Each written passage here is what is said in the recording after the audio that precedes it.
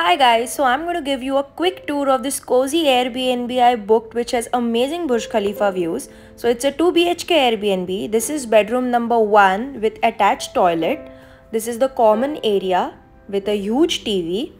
And this is the second bedroom which also has a balcony over there. And look at this huge grand terrace.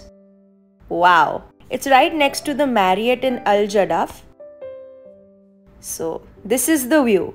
We checked in at night, so this is the night view.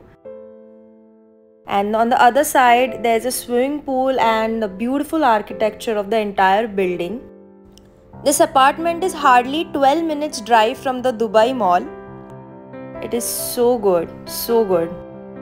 The kitchen was fully equipped with microwave, hot top and all the glasses, cup, dishes. It was amazing.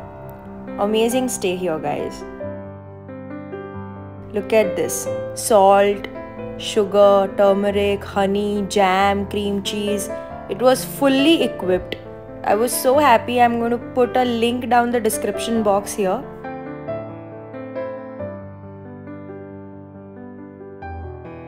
These are two hardworking souls working for their conference. and enjoying tea with amazing Burj Khalifa views in the morning. What a bliss! Wow! So I could also see Museum of the Future which was not visible to my eyes at night but morning views are amazing.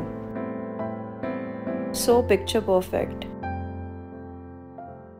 This was the Marriott next to the building and the swimming pool. I love these apartments. I love the way they look. Beautiful. I love this Airbnb, guys. Thumbs up.